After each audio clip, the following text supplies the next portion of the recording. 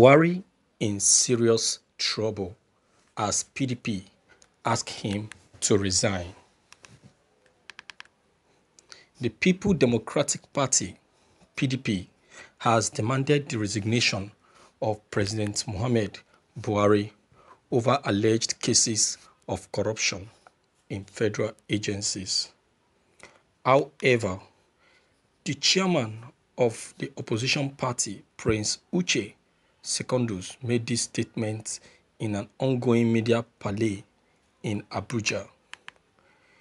In further statement, he cited ongoing corruption investigation of the Niger Delta Development Commission NDDC, MIC MEC, NED and others, lamenting that Nigeria under President Muhammad Buhari's watch was on ventilator gasping for air. Secondus said corruption has become a way of life among Nigerians and its citizens while Buhari plays the ostrich. He further accused Buhari of abandoning his promise to fight against corruption during his electioneering campaigns in 2015 and 2019 respectively. In my own opinion, I'm now asking if what the PDP said about President Muhammad Buhari and his administration being fied with corrupt agencies and he isn't saying anything about it is true or false. Thank you for listening to this news. What else? What else do you expect? It's true. President Mohamed Buhari's administration did nothing than promote and enhance corruption. According to him, his administration has come to fight and put an end to corrupt malpractices and and uh, and activity in Nigerian boards. On the other way around, instead of doing that, it has come to enhance it and make it even to gain more ground in Nigeria. I will tell you frankly speaking, I've not seen any administration that promotes corruption more than this administration. And it and the president Muhammad Buhari is the one that caused most of these things. He's the one that caused most of these things. How? You see, coming into power, he made it known to to to the um, to the masses that his coming is to come and fight corruption. His coming is to come and put an end to corruption. And knowing fully well that these people are not happy with that decision of the president, so they got prepared for him.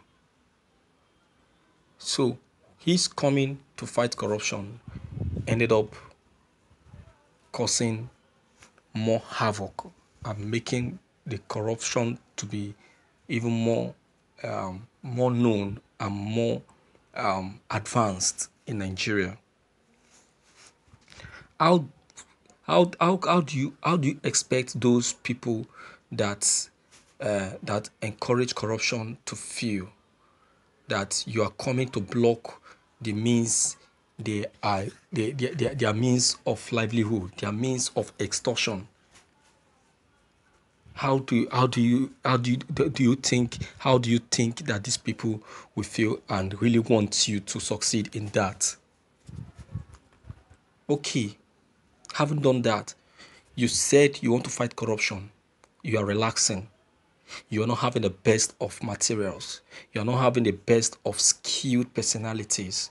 Instead of you to put to put up um, uh, the best uh, the best personalities on ground, you end up putting on um, uh, uh, the weeklies, weeklies and re- and uh, people that are supposed to have retired from service from service on ground, believing that they are fit enough to help you fight corruption. Who told you that?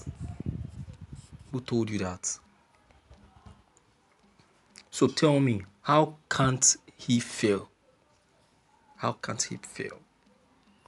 So that Nigerian is is facing all of these challenges is as a result of the weakness of President Muhammad Buhari.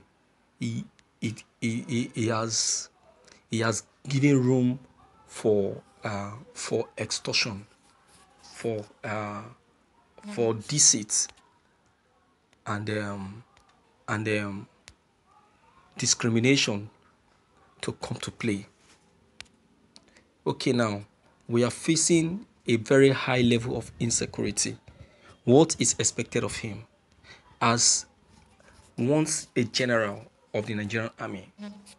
Is he not supposed to use his his, his army intelligence to know the uh, uh, to know how to tackle the this this issue of insecurity in Nigeria? Instead of doing that, he, he decided to to remain mute, maintaining the weeklies as as chief of staffs, saying I'm taking order and decision, saying that he alone has the right and he alone will know and decide when this chief of staffs should leave office.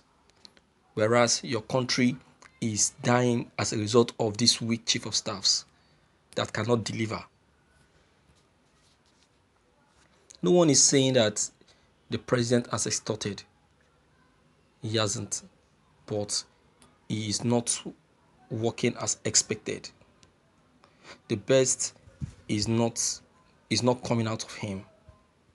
What is expected of him is not what the people are getting. It's not dishing it out as expected. See the level of our economy. See how weak the Nigerian economy is. Is this how we expect? Is this what we, we're actually expecting expecting in Nigerian economy? This is not what we were expecting. And besides, this is not how the economy was. The economy is going down drastically. And the president is not is not ready to know that. He's not ready.